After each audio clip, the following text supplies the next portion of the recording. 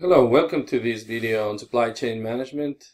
In this case, we're going to discuss um, risk pooling.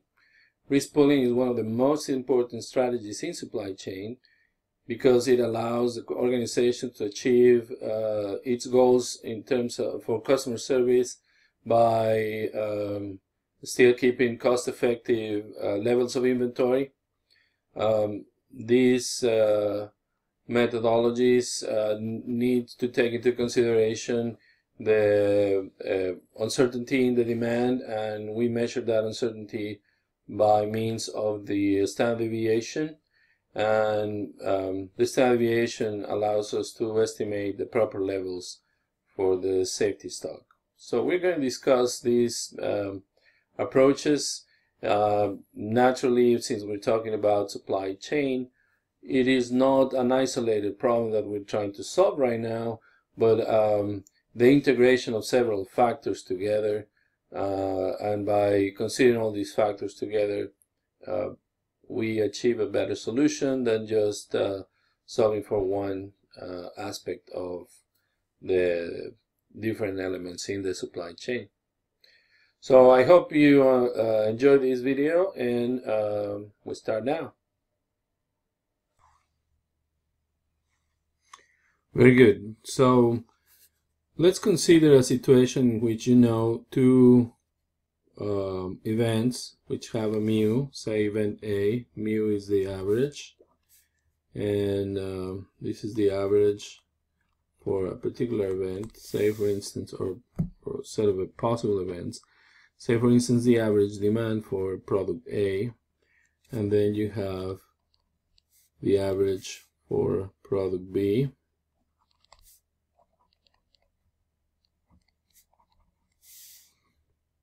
we can estimate the total average demand, if this is what we're looking for, the total average demand for these two products by simply adding the average of A plus the average of B.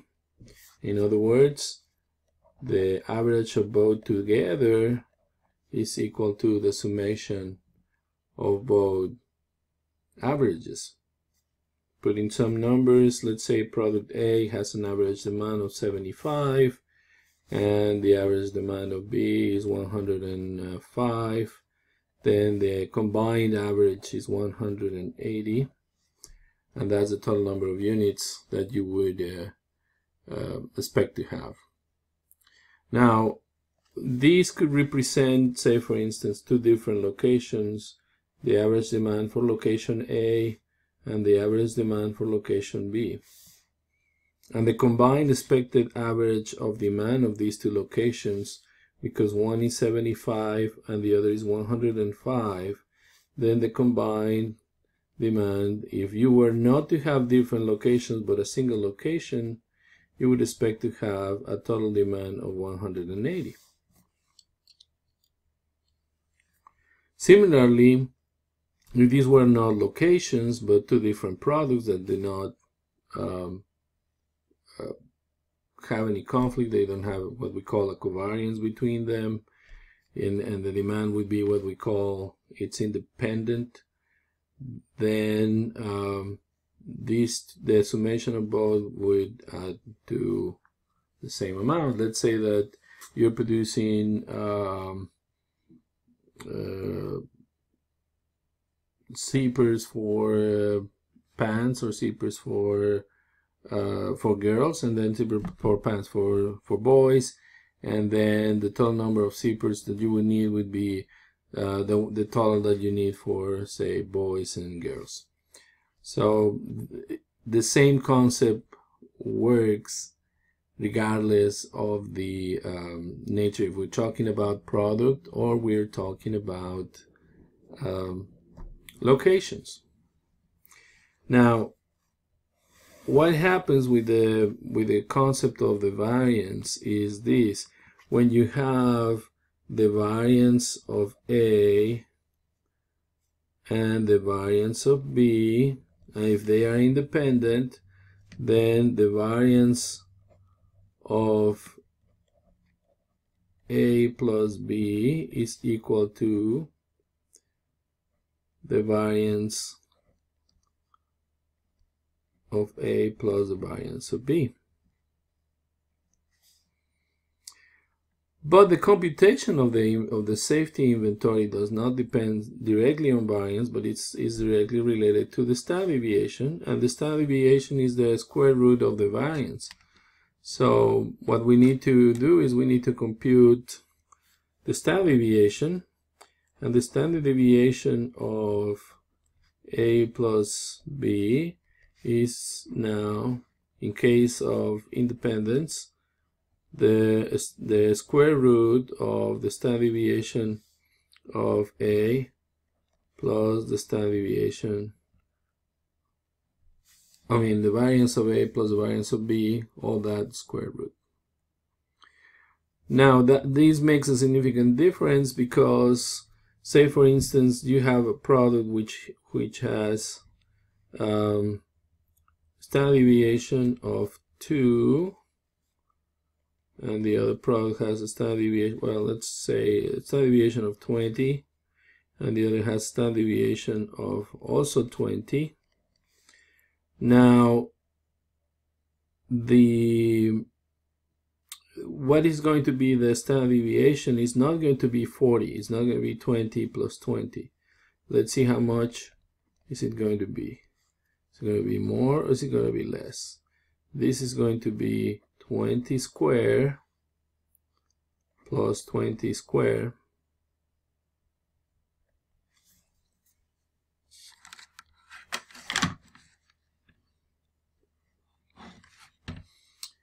and this is uh, 20 times 20 is 400 400 times 2 is square root of 800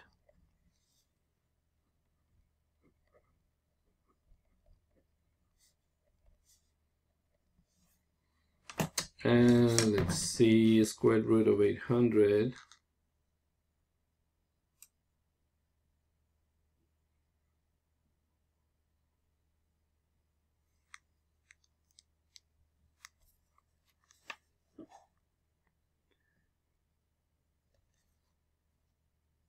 800 square root is 28.28 so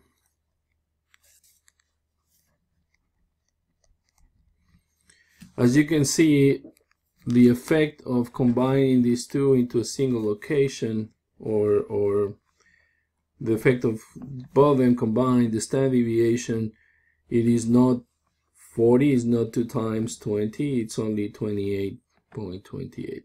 And that's the key to achieve risk pooling because now this is what would happen.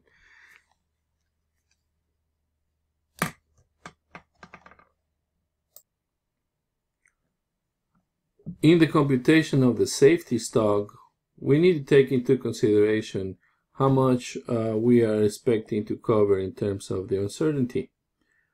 Um, if we use a normal distribution to make these computations, we know that 50% of the area of, uh, under the curve is to the left-hand side of the mean. If we want to achieve um, 97% of the um, of the uh, customer service, we would need to have two standard deviations.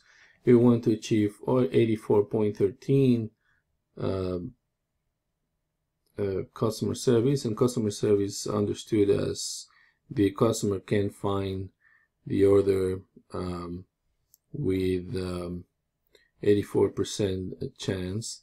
We would have to have the the amount of inventory that is needed for that number of standard deviations. So 84.13 uh, it is related to one standard deviation 97.72 is related to two standard deviations and um, that would uh, if we don't have any safety stock then we have 50 50 chances of having uh, the customer satisfied on a particular period. So um, what we would like to have is one standard deviation. So let's see how that works. From our previous computations, we figured out that if we had a standard deviation of 20 and 20 for two different locations, then that would mean that this, if we want to have an 84.13 um, customer service, 80.13 customer service, that is 84.13 of the time the customers will find the product that they want. Then we will need to have one standard deviation. And that means that if you have two separate warehouses each one of them having a standard deviation a demand with a standard deviation of 20 units you will need to have 20 units in the first warehouse plus 20 units in the second warehouse and you would have to keep a total safety inventory combined into different locations of 40 However, if you have a centralized warehouse, that means that when you don't order one, when the customer does not want uh, on region, on the region served by the original first uh, warehouse, could be that the that the customer from the other region would be ordering the product, and the variation cancel each other. So we know that the order is going to come more um, with more confidence. So instead of having that, we would need just uh, 28.28 units for safety inventory. This is with two warehouses. This is with one warehouse. What would happen if you have the demand, uh, the, the, the uh, customer service that you want is 97.2 to achieve 97.2 that is 97% of the time you want the customer to find the product you need two standard deviations. So you would need 20 plus 20 uh, times 2 which is uh, 80 in the case of two warehouses. In the case of a centralized warehouse you will need 2 times 28.28 which is um, 28.28 times 2 56.56. The savings in the first case, it's uh, roughly speaking um, 11 point um, 72 units. In this case, the savings are 24.44 units. In in savings of inventory that is not needed now and we will achieve exactly the same customer service. In terms of availability naturally speaking the uh, the um, the issue becomes uh, the distance for the uh, and therefore the delivery time for the customer. So that's the negotiation that we need to have. Should we have warehouses that are closer to the or, or retail store that are closer to the to the customer or not? Uh, but certainly having uh, centralized operations reduces the cost while not reducing the customer service in terms of product availability we're going to discuss more of these concepts in the next video.